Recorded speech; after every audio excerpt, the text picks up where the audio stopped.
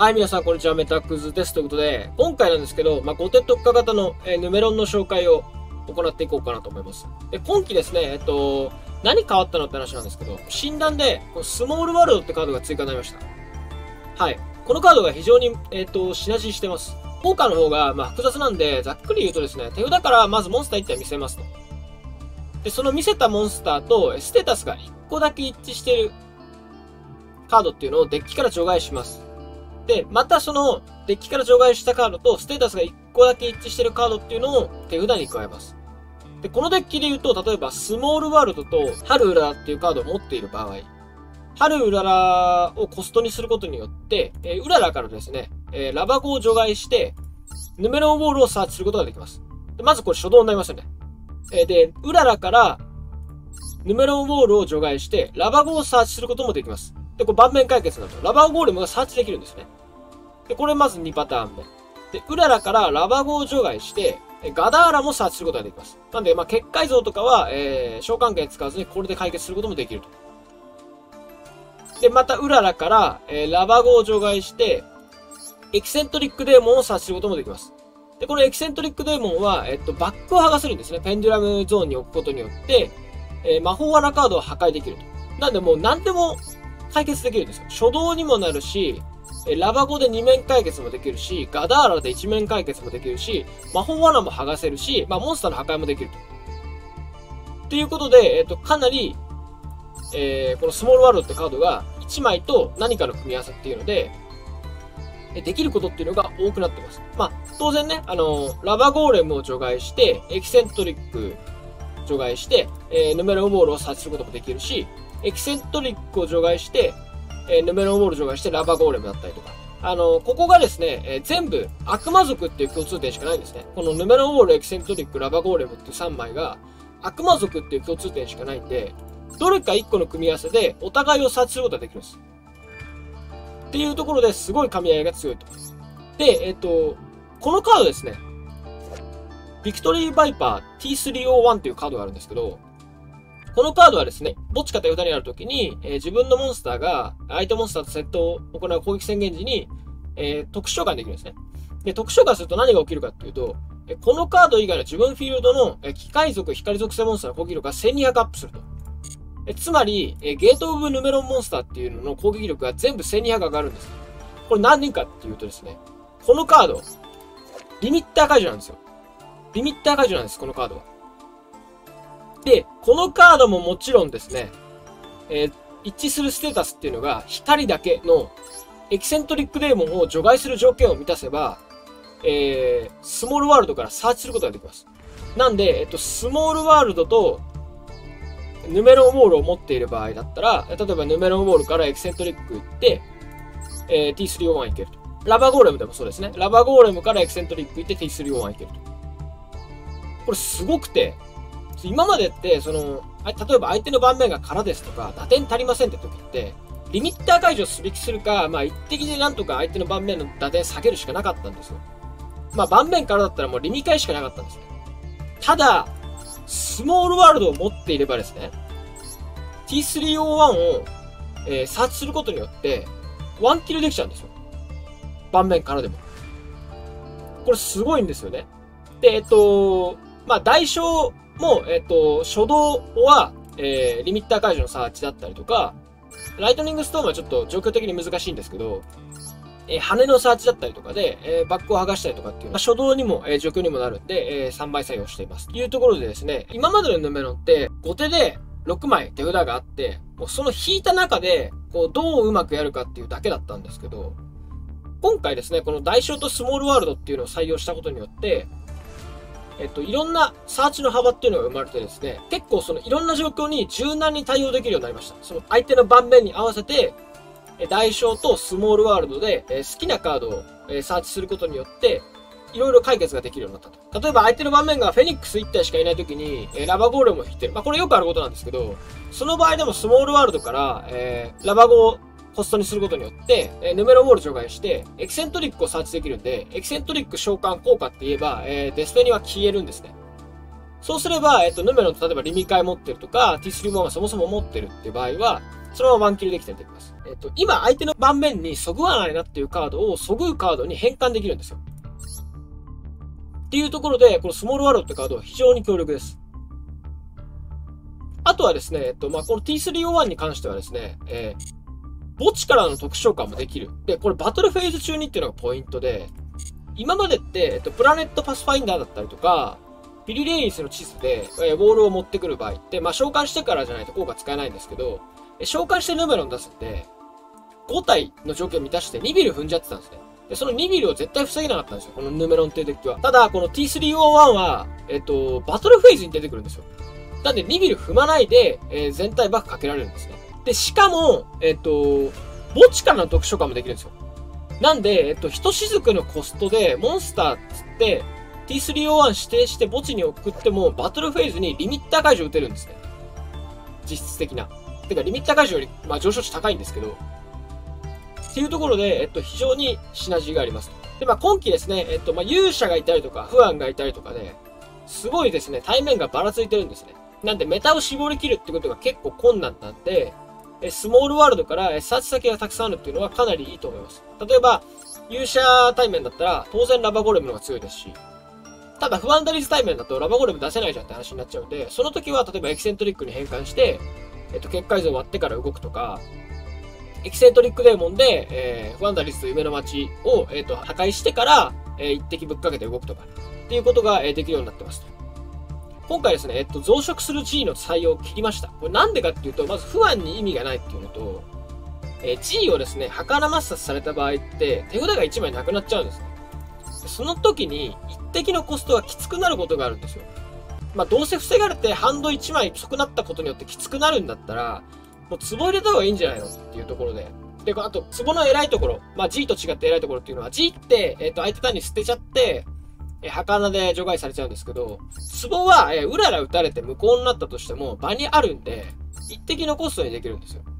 もうその時点で、え、1枚分の差が生まれるんですね。G と壺に関して言えば。えなんで採用してます。で、まあ、合同を採用してる都合上、まあ、この、ピン刺しのですね、ガダーラパンクラ、T301 っていうのが、まあ、スモールワールドから引っ張れなくなるケースっていうのがあるんですけど、まあ、それはですね、えっと、まあ、運の問題もあるんですけど、まあ、できればサーチしてから、えー、合同打ちたいっていうところではありますね。はい。で、えっと、合同採用してる都合上ですね、えっと、ダイレクト3枚採用になってます。ただ、2セットしかいないんで、2回しか使えません。ただ、えっと、ここ2枚採用にしてですね、まあ、合同打って2枚飛んじゃいましたっていうと、負けてしまうんで、っていうのと、ダイレクトすべき今回結構強いです。なんでかっていうと、デストロフェニックスイが、えー、しょっちゅういるんで、ネットワークの、えー、効果の発動にフェニックスチェーンしてくる人っていうのが多分ほとんどだと思います。え、そうすると、えっ、と、解決時にバリないんで風発になるからですね。ただ、だからネットワーク張った瞬間っていうのは、基本的にフェニックスっていうのは何もしてこないんですね。で、その時に、えダイレクト手札からポンって発動すると、えっ、と、急いでヌメロのネットワークと自分を破壊するんですね。そうなるとですよ、え、リミッター解除でワンキルだったりとか、まあ T301 も、えー、もちろんですよね。全部で殴ったら、ワンキルになるんで、っていう状況が作れるんで、えっ、と、ヌメロンダイレクト自体は結構強いです、普通に。はい。でまあ、あとはですね、あのー、今までのヌメロンと変わらずっていうところで、まあ、今回あの、不安が多いんで、リブート採用してます。はい。まあ、決まるとめっちゃ、あの、相手困ってくれるんで。で、あのー、羽のデメリットっていうのがあって、不安打率対面において羽打った時に、抹殺で羽除外されると止まっちゃうんですよね。まあ負けなんですよ。その時点で負けで。なので、えっと、リブートっていうのがですね、まあ、カウンター罠で、えー、抹殺とかでチェーンされないんで、まあ、リブートって基本的に発動者通るんですよ。なんで、リブート引けてると、あの、不安タイムかなり有利になります。ということでですね、えっと、まあ、説明はこんな感じなんで、ちょっとリプレイの方を見ていきたいなと思います。はい、まず1戦目ですね。まあ、これはですね、えっと、柔軟な動きが結構できるよっていうようなリプレイになってますと。はい、まずですね、この初手ですね。はい。え、ヌメロン関連のカード1枚もないじゃんって感じなんです。まあ、この時ちょっと G 採用してたんですけど、まあ、あの、ツボにしましたと。で、これですよ。まず羽でバックを剥がしますと。まあ、羽でもライストでもいいんですけど、まあ、このデッキにあの、5枚入ってるんで、実質的な羽が。まあ、結構引いてきますで、スモールワールドでですね、えー、裏の除外してラバーゴミセット、ヌメロウォールを持ってきますと。で、ヌメロウォール効果で、えー、ネットワークを貼ります相手の場からだからワンキルできないんですけど、今までだったらワンキルできなかったんですけど、代償でリミカイサーチすることによって、えー、ワンキルができるようになったと。こういう風にですね、サーチ札が多いんで、いろんな動きができるようになったんですね。対戦ありがとうございましたと。はい、じゃあ次のリプレイ見ていきましょう。とね、リプレイの内容を覚えてないんですけど、あ、フアンダリーズ対面の、えー、対処の方法ですね。やっていこうかなと思います。あの、一滴かければいいじゃんとか、えー、ガダーラ置けばいいじゃんっていう風な意見がもしかしたらあるかもしれないんですけど、えー、実はそれだけでは、えー、ダメだというのを見せれるかなと。あのね、夢の街ってカードがあるんで、あのー、エンペンと結界像を無効にしたところで、まあ何も起きないんですね。なんで、えっと、ライストと一滴っていうのを2個持ってるっていうのが条件になってきます。で、ここで、まあ、夢の街を焦って出してくるんで、ここに対して、一滴を当てないといけないんですね。なので、えっと、手札が6枚必要なんですよ。っていうのがあって、まあ、今回、その誘発の数を、えー、少なくしたりとかっていうのをやってます。で、まあ、これで、えっと、バッキリですね。なんで、まあ、不安なリス対面は、向こうの要求値に比べて、まあ、こっちの要求値の方が結構高いんで、だいぶきついっていうのと、アトラクター投げた、投げられたら、もう負け確定なんで、ちょっと厳しいですね、不安タリーズは。はい。はい、じゃあ次の対戦も見ていきましょう。あ、T3-1 引いてますね。はい。まあ、スモールワールドで持ってきても素引きしても、あらゆる面において強いんで、このカードね、うん、今までちょっとあの、配信でもね、おすすめしてくれる人いたんですけど、